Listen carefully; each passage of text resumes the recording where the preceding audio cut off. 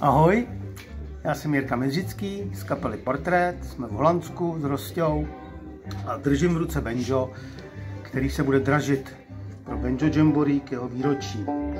To banjo je skvělý, má nádherný zvuk, krásně vypadá.